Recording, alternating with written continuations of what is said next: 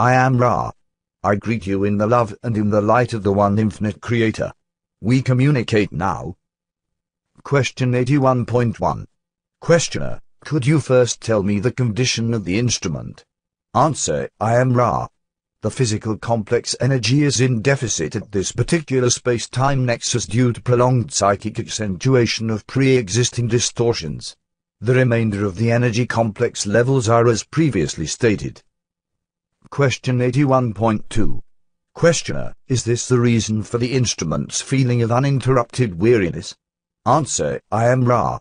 There are portions of your space-time in which this may be said to be symptomatic of the psychic greeting reaction. However, the continual weariness is not due to psychic greeting but is rather an inevitable consequence of this contact. Question 81.3. Questioner, why is this an inevitable consequence? What is the mechanism of this contact that creates this weariness? Answer, I am Ra. The mechanism creating weariness is the connection betwixt the density wherein this instrument's mind, body, spirit complex is safely kept during these workings and the altogether variant density in which the instrument's physical body complex resides at this space-time. As the instrument takes on more of the coloration of the resting density the third density experience seems more heavy and wearisome. This was accepted by the instrument, as it desired to be of service. Therefore, we accept also this effect about which nothing of which we are aware may be done. Question 81.4.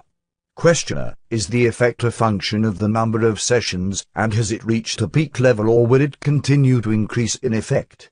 Answer, I am Ra. This wearying effect will continue but should not be confused with the physical energy levels, having only to do with the, as you would call it, daily round of experience. In this sphere those things which are known already to aid this instrument will continue to be of aid. You will, however, notice the gradual increase in transparency, shall we say, of the vibrations of the instrument. Question 81.5. Questioner, I didn't understand what you meant by that last statement. Could you explain it? Answer, I am Ra. Weariness of the time-space nature may be seen to be that reaction of transparent or pure vibrations with impure, confused, or opaque environs. Question 81.6. Questioner, is there any of this effect upon the other two of us in this group? Answer, I am Ra. This is quite correct. Question 81.7. Questioner, then we would also experience the uninterrupted weariness as a consequence of the contact. Is this correct? Answer, I am Ra. The instrument, by the very nature of the contact, bears the brunt of this effect. Each of the support group, by offering the love and the light of the one infinite creator and unqualified support in these workings and in energy transfers for the purpose of these workings, experiences between 10 and 15 percent, roughly, of this effect. It is cumulative and identical in the continual nature of its manifestation. Question 81.8. Questioner, what could be the result of this continued wearying effect after a long period? Answer, I am Ra. You ask a general query with infinite answers. We shall overgeneralize in order to attempt to reply. One group might be tempted and thus lose the very contact which caused the difficulty.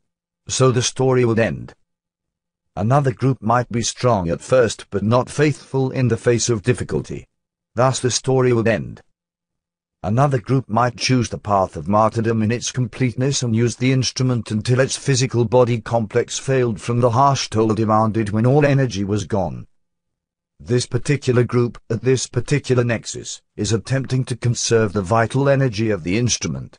It is attempting to balance love of service and wisdom of service, and it is faithful to the service in the face of difficulty. Temptation has not yet ended this group's story.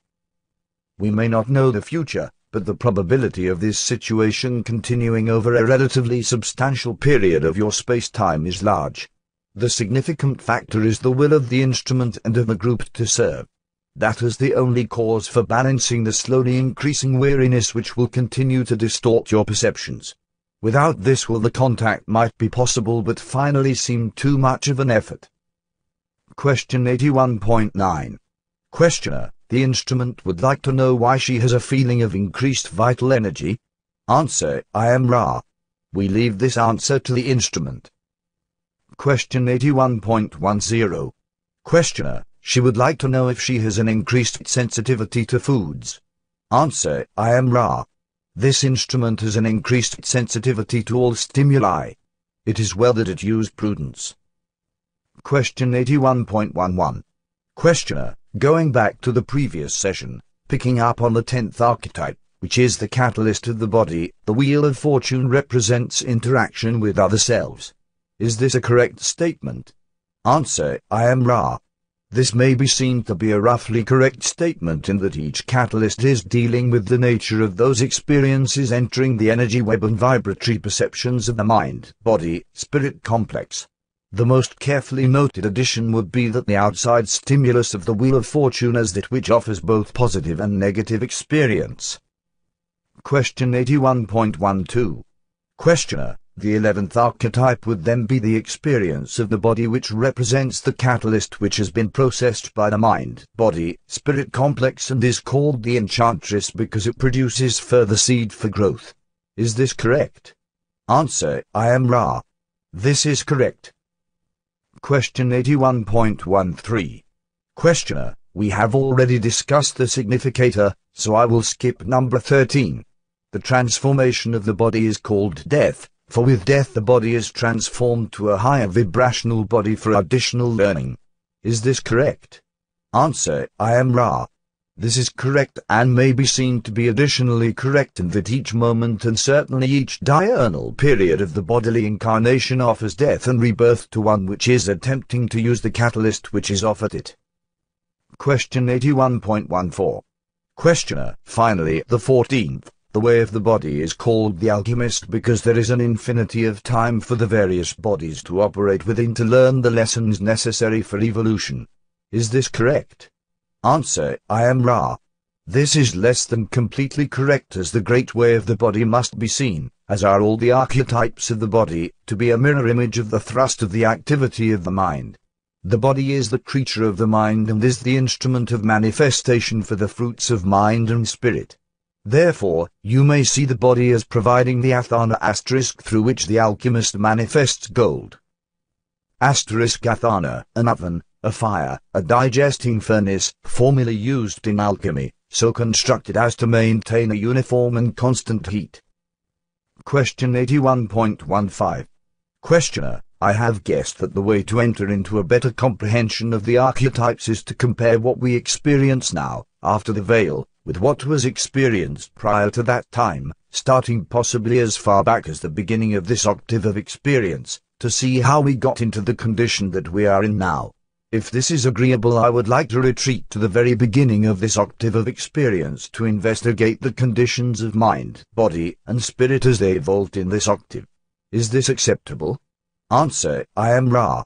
The direction of questions is your provenance. Question 81.16 Questioner, Ra states that it has knowledge of only this octave, but it seems that Ra has complete knowledge of this octave. Can you tell me why this is? Answer, I am Ra. Firstly, we do not have complete knowledge of this octave. There are portions of the seventh density which, although described to us by our teachers, remain mysterious. Secondly, we have experienced a great deal of the available refining catalyst of this octave, and our teachers have worked with us most carefully that we may be one with all, that in turn our eventual returning to the great allness of creation shall be complete.